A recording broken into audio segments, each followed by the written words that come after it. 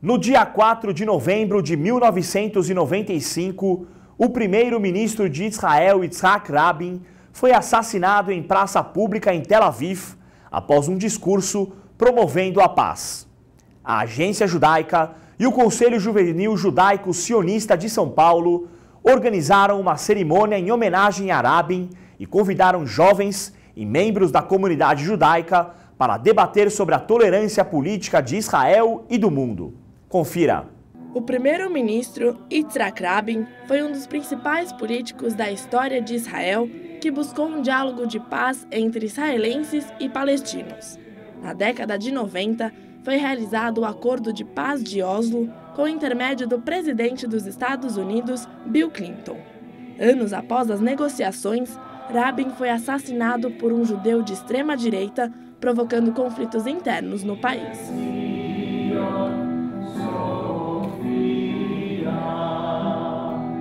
O Teques, em memória de Yitzhak Rabin, organizado pela Agência Judaica e o Conselho Juvenil Judaico Sionista de São Paulo, reuniu jovens e membros da comunidade judaica na sinagoga do Colégio Renascença para prestar uma homenagem a Rabin e desenvolver um debate sobre tolerância política. A ideia do Teques era pensar em soluções para o futuro, buscando o caminho da paz por meio de eventos históricos de Israel. É muito mais que homenagem. O assassinato do Rabin é um é, ponto-chave na vida da, de Israel, na política, na sociedade e na vida da, do povo judeu. Nosso dever lembrar e entender o porquê e fazer tudo o possível via educação para que isso não aconteça mais. Yitzhak Rabin é sempre uma referência né, para muitas Tnuot, porque é uma questão que a gente está sempre discutindo o que é a paz, como a gente consegue alcançar essa paz hoje em dia. Cada dia a gente está vivendo a intolerância, né? Então trazer esse assunto para a pauta é sempre muito importante. É importante a juventude estar tá sempre engajada, né, nesse diálogo. A iniciativa dos jovens de tomar as mãos a memória do povo judeu, a memória de Yitzhak Rabin, tem um simbolismo muito forte. Rabin foi assassinado por um judeu numa praça pública em Tel Aviv.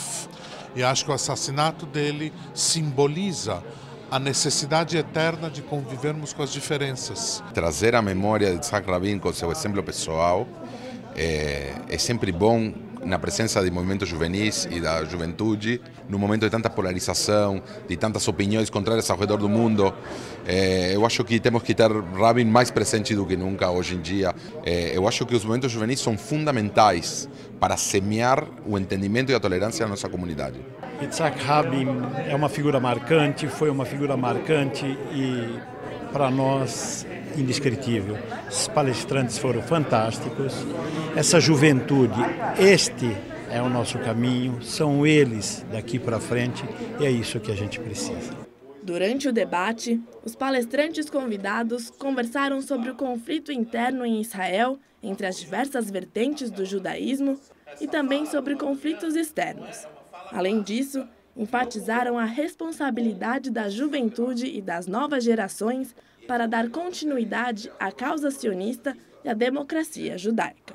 Como qualquer Tnuá aqui, a gente devia prezar principalmente pelo lado educativo da coisa. Né? Para o Dror, tem muito a ver a gente estar tá aqui nesse evento. A gente já fez um museu sobre o Rabi na nossa casa, a gente debate constantemente sobre essa questão, sobre questões políticas, sobre questões de tolerância. Quando a gente fala sobre a memória como meio de educar, para enfim, a gente não esquecer e, e pensar no futuro, assim, educar para as próximas gerações e pegar os aprendizados, acho que é fundamental a presença tipo dos movimentos juvenis para que, enfim, o que foi passado para nós que não tivemos nessa época, podemos passar e que esse tipo de intolerância de nós sionistas judeus não continue acontecendo.